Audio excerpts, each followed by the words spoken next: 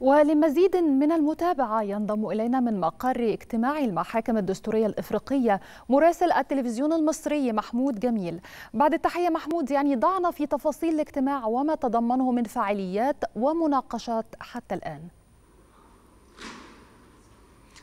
وسهلا. بكما وبكل السادة المشاهدين. بالفعل نتواجد لمتابعة الاجتماع السادس رفيع المستوى لرؤساء المحاكم والمجالس الدستورية والمجالس والمحاكم العليا الإفريقية. هذا الاجتماع الذي ينطلق للعام السادس برعاية واهتمام السيد الرئيس عبد الفتاح السيسي. النسخة السادسة لهذا الاجتماع الذي يحظى بأكبر عدد من القضاء المشاركين ورؤساء المحاكم الدستورية الدولية النسخ السابقة. نتحدث عن مشاركة 40 دولة إفريقية بواقع 51 من رؤساء المحاكم الدستورية وعدد كبير من القضاء الذين يمثلون المحاكم العليا الأخرى. انتهت الجلسة الافتتاحية التي حضر حضرها عدد كبير وقامات قضائية كبيرة وتشرفت هذه الجلسة بحضور الدكتور مصطفى مدبولي رئيس مجلس الوزراء. ثم انتهت أيضا الجلسة الأولى من فعاليات اليوم التي كانت تحت عنوان الحماية الدستورية لمبدأ المواطنة وأيضا بدأت الجلسة الثانية التي لا زالت تنعقد حتى الآن وهي الحماية الدستورية لحقوق المهاجرين واللاجئين. هذه النسخة تأتي تحت عنوان دور الرقابة الدستورية في تحقيق التنمية للشعوب الإفريقية وهذا ما تحدث عنه المستشار بولس فهمي رئيس المحكمة الدستورية العليا خلال لقاء خاص لنا منذ قليل. وأكد على أن تحقيق التنمية للشعوب الإفريقية تأتي على أجندة المؤتمر من خلال التوصيات التي سيخرج بها المؤتمر وسيكون هناك متابعة لهذه التوصيات تشريعيا وقضائيا وتنفيذيا أيضا لتحقيق هذه العدالة وهذه التنمية للشعوب الإفريقية.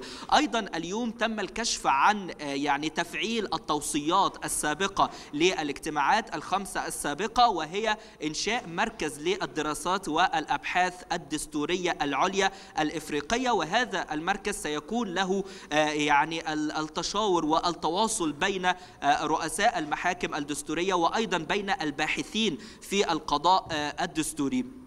أيضا يعني سيكون هناك بعض المحاور الهامة التي ستكون على أجندة المؤتمر منها الضمانات الدستورية لتنمية الموارد الطبيعية المشتركة وأيضا العدالة الاجتماعية من منظور ودور القضاء الدستوري في حماية وسلامة المجتمع. من خلال لقائنا بعدد من رؤساء المحاكم الدستورية عبروا عن سعادتهم وشكرهم للرئيس عبد الفتاح السيسي لرعاية هذا الاجتماع وأنه دائما يحرص على التواصل التواصل مع الدول الأشقاء الأفارقة وهذا الاجتماع الهدف منه هو تحقيق التواصل في القضاء الدستوري ما بين رؤساء المحاكم. رئيس المحكمة الدستورية العليا للجزائر أكد على أن هذا الاجتماع سيضيف للجزائر العديد من المعلومات التي بالطبع ستعود على النظام القضائي الدستوري في الجزائر وهو فرصة أيضا للتواصل بين رؤساء المحاكم الدستورية الموجودة لتحقيق نظم أفضل في القضاء الدستوري والعمل أيضا